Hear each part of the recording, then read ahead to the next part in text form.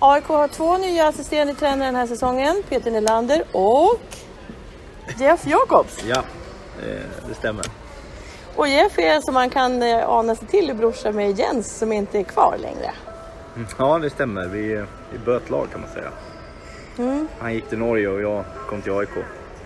Känslig fråga. Var du med och, och tog beslutet om att han inte fick vara kvar? Eh, nej, det var jag inte. Det var jag tydlig med att jag lägger mig inte i den diskussionen. Utan eh, blir han kvar så kör jag på det och blir han inte kvar så kör vi på det. Jag hade ingenting med det att göra. Det visste Jens också om, så det var fine. Hörru, du är ju väldigt ung faktiskt. Bara 29 år och inte har du varit tränare så länge heller. Måste tjuvkika här. Jag skrev upp eh, två och en halv säsong som head coach i division... Nej, två och en halv säsong var det en som head coach i division 1 med Borlänge. Och så assisterande eh, tränare tillsammans med Fredrik Söderström i Storhammar där ni faktiskt blev norska mästare också förra säsongen. Ja, men det stämmer. Så tre och en halv säsong ungefär. Jag började den här säsong som assisterande när jag slutade som spelare och vart direkt. Och sen hade jag en hel säsong som assisterande. Sen vart jag head coach. Eh, en säsong i Borlänge. Då hade jag gjort ja, två och ett halvt år där och kände väl att jag ville komma hemifrån. Det var ganska lugnt och tryggt och lite för mysigt för att jag skulle sättas på prov och utvecklas tänkte jag. Så då stack jag iväg förra året och fick en eh, jättehärlig säsong i, i Norge. Och var oerhört lärorikt och även riktigt kul år. Och, eh, fick jobba med Fredrik som också blev en av mina närmaste vänner, som är en av mina närmaste vänner skulle jag kalla honom efter vårat år ihop. Han blev utsedd till årets coach i Europa. Fick inte du också vara med där då? Nej, han tackade mig i någon tweet och sa att jag var lika delaktig. Det var det jag fick. Så det är jag, jag är fullt nöjd med det. Jag, han är en oerhört duktig tränare så det var han värd. Okej, så ingen glamour glory där. Nej, så är det. Men jag är ung än. Ja, vad lärde du dig av Fredrik och, och av att träna norsk hockey då? Nej, men framförallt så lärde jag mig väl att jobba på en eh, professionell nivå med, med att- allt vad det innebär i seriositet och uh, träna dagtid var ju den stora skillnaden och för att kunna få lite mer tid med spelarna och kunna utveckla dem mer genom att jobba hårdare egentligen, både på isen och utanför med dem genom eh, kommunikation och dialog och de här grejerna. Och när vi är inne på det spåret så är det den största biten jag lärde mig av Fredrik känner jag. Det, det kommunikativa och dialogen och kunna prata med spelare och få med sig en grupp och spelare och tänka li, lite längre än vad, vad jag gjorde innan. Men hur, eh, alltså det är ändå rätt stor, stort hopp då från division 1 till norsk elithockey och sen till Hockeyallsvenskan. Nu vet jag inte om det är så stort hopp det sista men eh, hur tycker du själv? Hur, hur, stort hopp är det? Ja, men det, är, det är ganska stort. Nu var vi ju med eh, några av de åren i Borlänge där så var vi i playoff och vi var i kvalserien något år. Eh, så jag hade känt på det lite men det är ändå ett, det är ändå ett stort hopp när det blir på, på heltid. I Borlänge var det på 25 procent kanske. Så det är den stora grejen, att det, det blir ju det. Och sen blir det ju ett annat tryck utifrån men det, det vill jag ju ha. Det är därför jag håller på. En av anledningarna är ju att man vill att det ska vara drag kring det och lite press. Och, de bitarna. Så givetvis är det ett stort steg men det är aldrig någonting som jag har varit orolig över. Och press det är ju alltid AIK, men det- vi ska komma in på det senare. Men hur hamnade du i AIK då? Ja, men jag och Mittell känner igen varandra lite sen innan. Så eh, jag var uppbjuden till Mora när han och Jeremy hade Mora. Eh, två gånger var jag där kring matcher och träningar och såg och lärde lite och vi fick en kontakt därifrån och det ledde väl till att jag hade en liten ingång och kontakt med han och sen hörde Gossi av sig och frågade om jag var intresserad.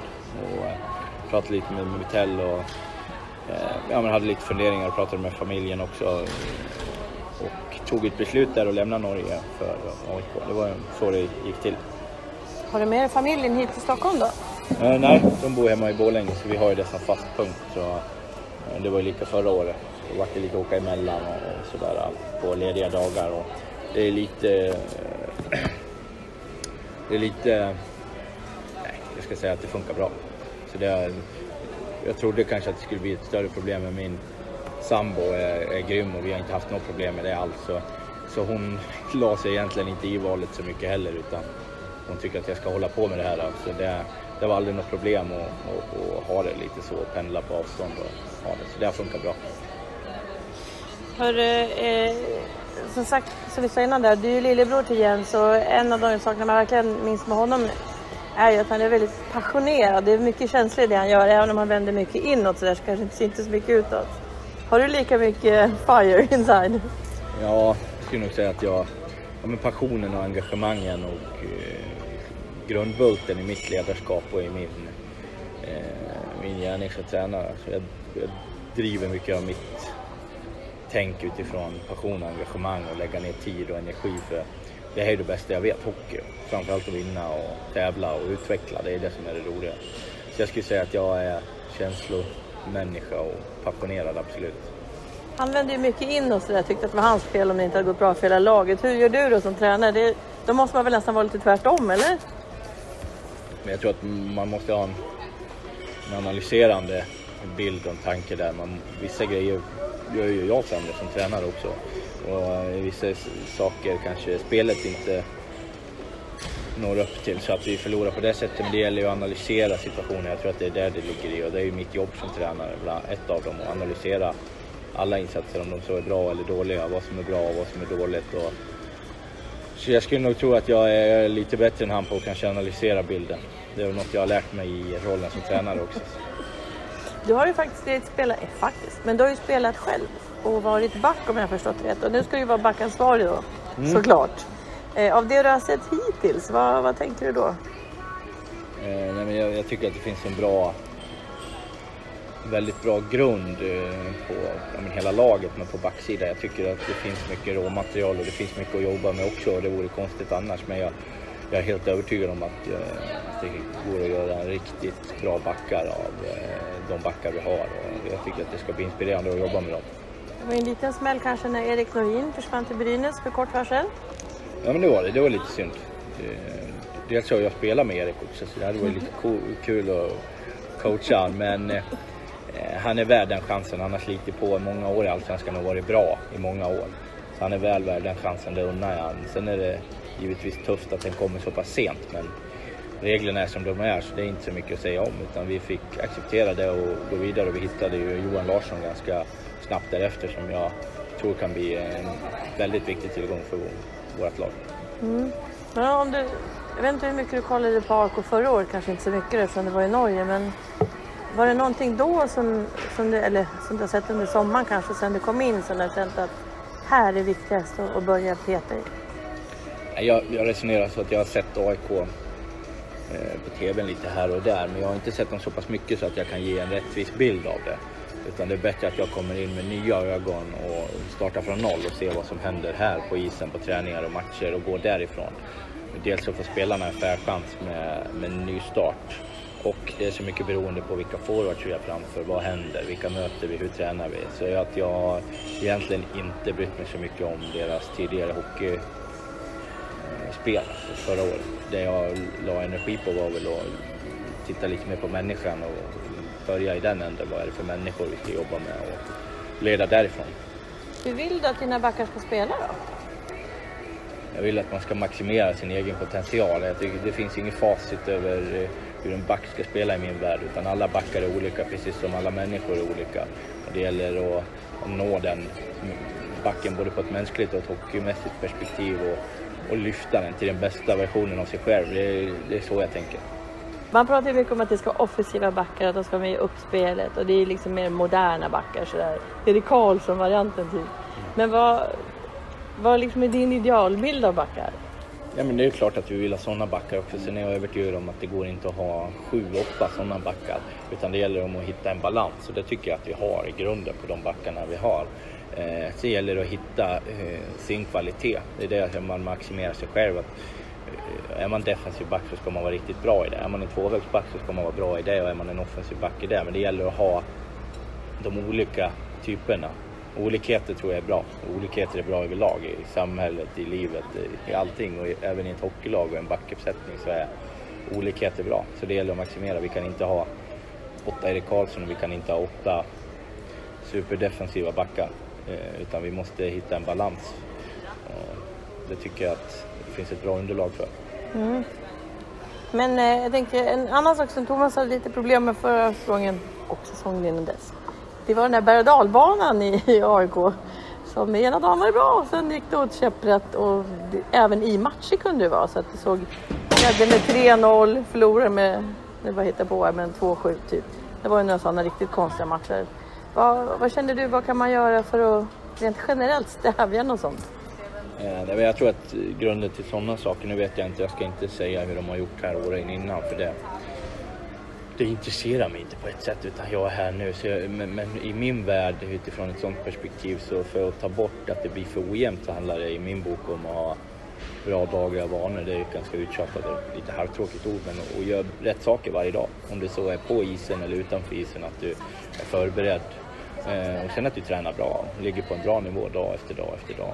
Och att eh, alla strävar åt samma håll, att vi har en tydlig riktlinje hur vi vill göra och vad vi vill gå. Jag tänker, du är ju spelare själv så du måste ha varit med om det där att man hamnar i sådana här lägen i ett lag. Vad beror det på när det blir sådär? Är det för att man inte drar åt samma håll eller vad är grejen? Jag kan det nog vara. Sen lite att man är, man är osäker på var vi står och att man inte riktigt litar på, på sig själv, på sina kompisar och sitt spel. Det tror jag är, är den eh, som jag skulle eh, tänka på utifrån mitt spelarperspektiv. Nu är det så länge sedan att jag spelat så jag har nästan glömt bort att jag har spelat. Men det blev ju mycket så faktiskt. En och en kände man. Mm. Att, det, att det, när det började svikta lite så vart det att nej men nu jäklar och nu ska jag lösa det här. Var och en för sig. Ja så kanske det var och, jag tror att det är ganska vanligt att, att det blir så. Och framförallt på, så blir det att många vill ta ansvar i fel lägen. Och när de tar ansvar så gör de det på fel sätt genom att kanske tro att de ska klara det helt själva. Och det blir en ond spiral till sist om det, om det rullar på så. Eh, men eh, jag har inte sett några sådana tendenser de här veckorna på is. Så jag hoppas att vi får bort det om det var ett problem som var förra året. Men hur får man in bra vanor då? För det, det, alla pratar ju om det, men hur får man det att verkligen vara så? Dels handlar det om från, att man värvar in rätt karaktärer som, som man vet har bra vanor i sig. Sen handlar det om att tränarna är tydliga i vanorna och är på om vanorna. Och sen gäller det att få rätt spelare i gruppen att trycka på de här vanorna. Att det bär de, de bärande spelarna som gör rätt saker på isen, utanför isen, som värmer upp, som tar hand om kroppen, som äter efter och så vidare. För är det de bästa spelarna som gör rätt, då är det jäkligt svårt för de, de som inte är i samma hierarkiska ordning och backa undan och göra något annat. Då tar de ofta stryk. Så det, det, det är väl några av de grejerna som jag tror är viktiga när man ska bygga en sån miljö. Jag såg en intervju som du har gjort att eh, du slutade för tre år sedan mm. och då beskrev du dig själv i den intervjun som eh, defensiv, lite småful back som grisade. Men sen såg jag också att eh, du vill ha ett lag som är precis tvärtom.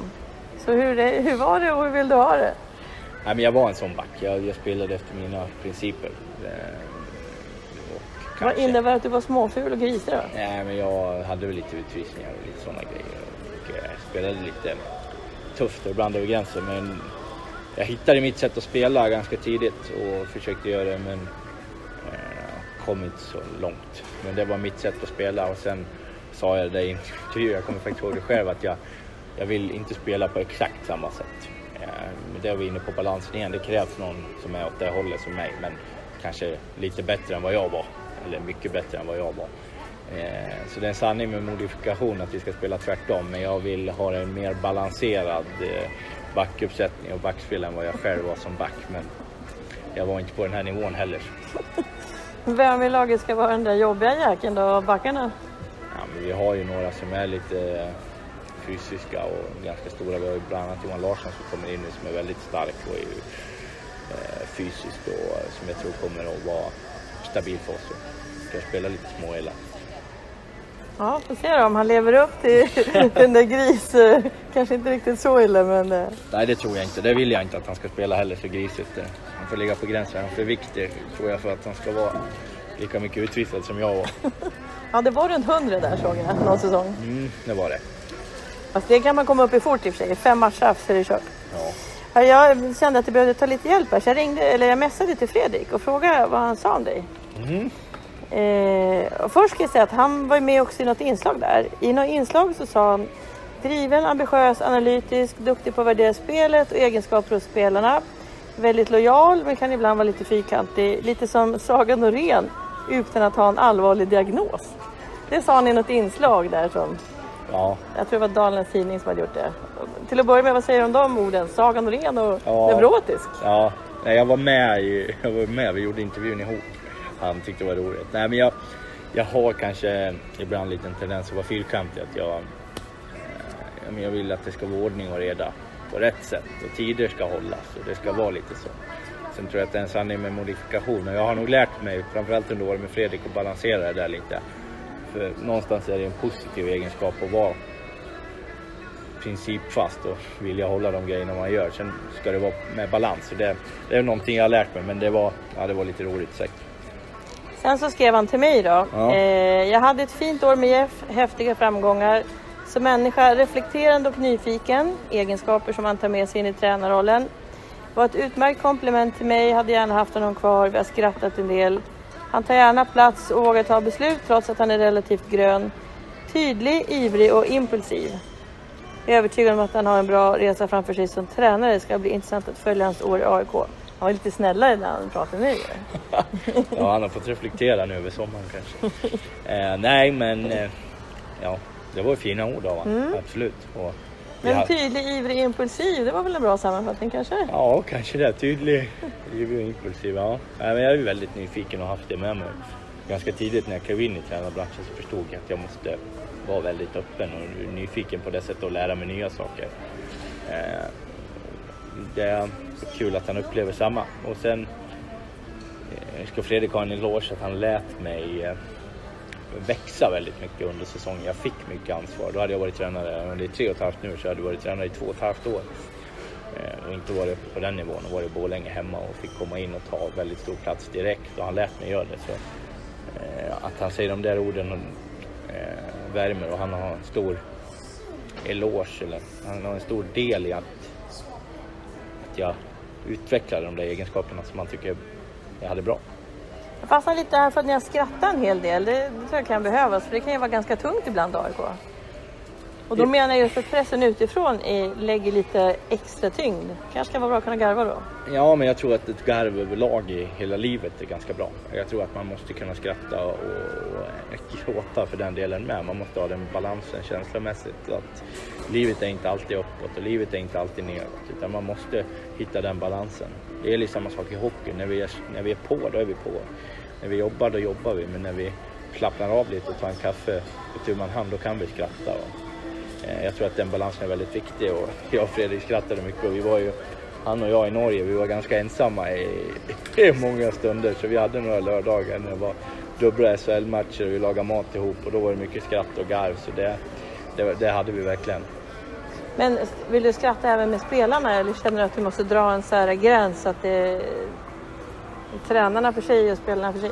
Nej, jag tror ju på en mer öppen eh, balans där. Att, eh, Ehm, den linjen som man kan säga mellan tränare och spelare måste vara varierande. Ehm, jag, ska, ja, men jag ska kunna garva med dem, jag ska kunna ta en kaffe med dem i omklädningsrummet och surra lite om vanliga saker, om livet och surra, ta en kaffe överlag. Ehm, och i det ingår ju för mig att skratta och ha lite roligt och skoja om saker. Sen ska de känna att det är tydligt att jag eh, är ledare, men det, det, det kan man inte göra på, på ett sånt sätt att man skiljer dem från oss. Det tycker jag är fel sätt. Jag tänkte också här, eh, ta gärna plats och våga ta beslut.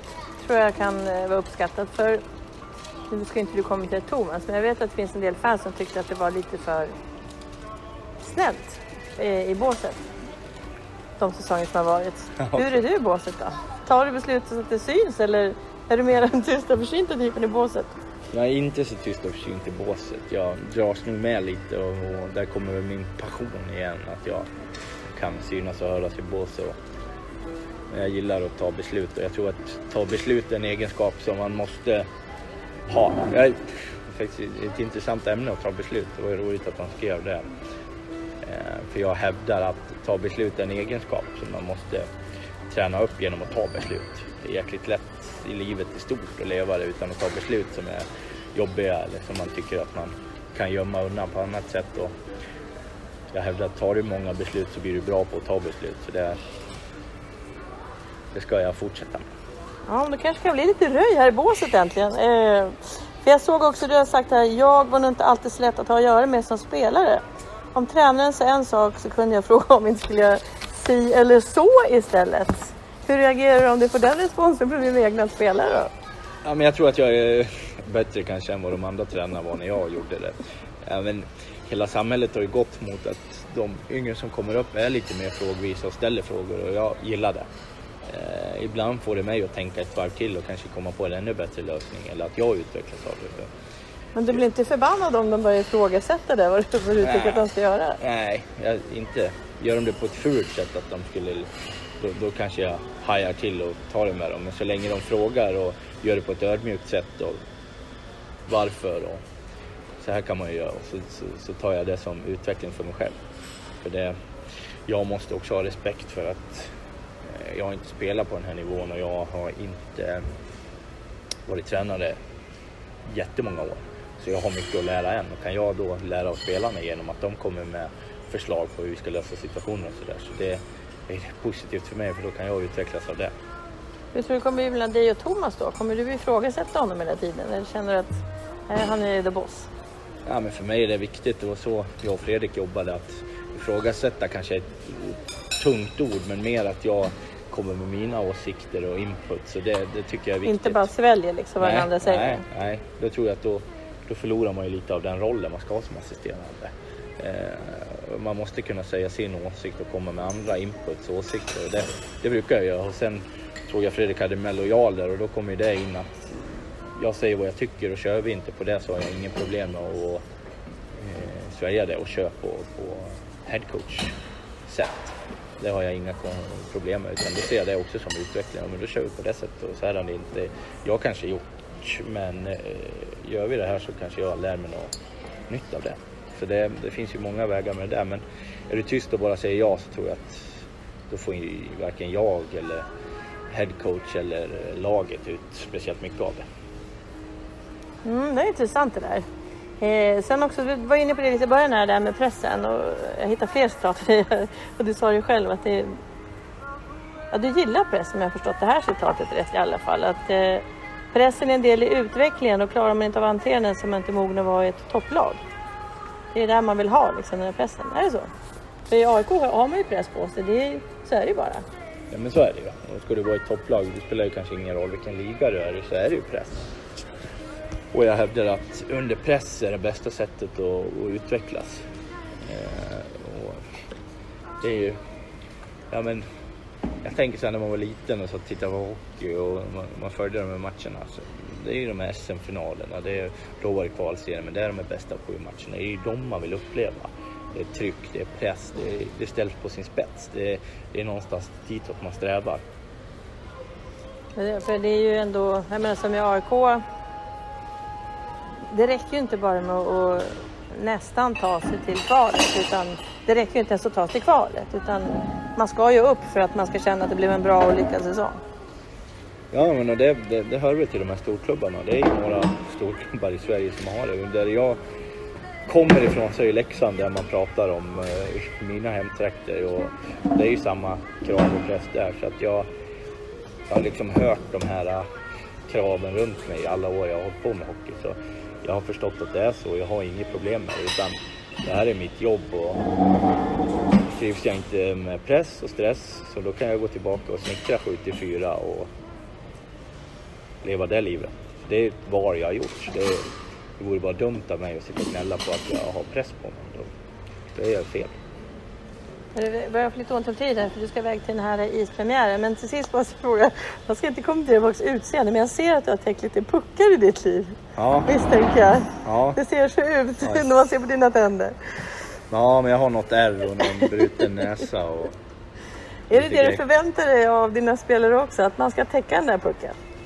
Om det är det som är skillnaden på att vinna eller förlora så, så då, är det, då är det ingen val i min bok. Utan, ja, då ska man göra det det tror jag inte är något problem. Det, det, gör de nu för tiden jämt. Nej, inte alla. Men det finns jag vet att din bror, han var faktiskt en sån som gick med facet före. Men det är ju inte alla som gör det. Nej, nej så är det Men jag tror att ställs på sin spets så, så hoppas jag att, att de ska göra det. Men det tror jag nog. Har du talat om det för dem? Att ni vet vad som väntar grabbar? Det är näsan först. Nej, jag väntar till de inte gör det och så kan jag ta det då. Jag kanske tycker att det, det borde göras. Allra sist, nu ska du in på ispremiär här och jag kommer lägga ut det lite efter så du vet ju inte, det blir ett svårt svar. Men hur är känslan att få träffa fansen äntligen? Det ska bli kul. Jag har inte träffat fansen så mycket. Jag stötte på någon på Gotland och på Ritorp har det varit lite folk och, och tittat på träningarna. Sen har vi haft någon träff eh, med lite sådana där eh, fans, någon liten vända, men jag har inte träffat dem så mycket. Det ska bli jättekul. Eh, AIK, det är ju också en sån sak som man valde AIK för, det är ju att alla har ju en relation till AIK. Eh, fans, det finns ju en massa aik hemma i, i Dalarna som, som varit hur glada som helst om man skulle hit. Så det är ju den passionen och glöden som finns bland AIK-fans gör ju att man vill vara en sån här förening och eh, hjälpa dem nå sina drömmar om att AIK ska spela i Sverige. Det är ju det är för dem lika mycket som det är för oss. Så det, det ska bli en ära att, att spela inför AIK-fansen eh, matchen och stå i båset med dem är på. Så det ska bli kul att träffa dem idag.